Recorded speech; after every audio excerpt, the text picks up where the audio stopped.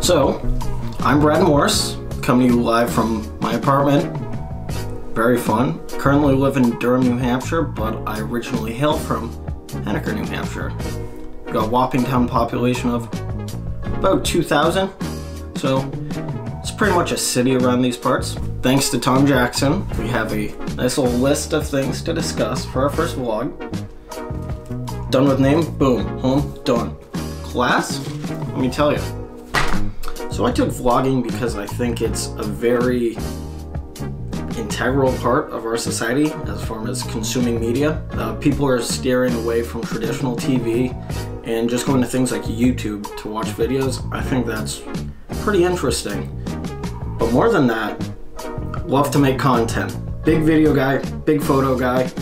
So yeah, I figured I might as well make, I don't know what, two, three vlogs and then become an international celebrity. Seems pretty easy. Next on our list we have vlog?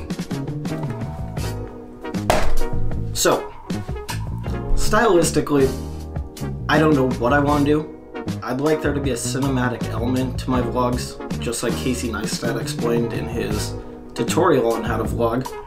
But as far as the content goes, we'll see. I like a lot of things, so I plan on talking about a lot of stuff, doing a lot of stuff. Uh, I might throw in a day in the life vlog every now and again. We'll see. I, I'm really not sure. So, uh, it'll be fun.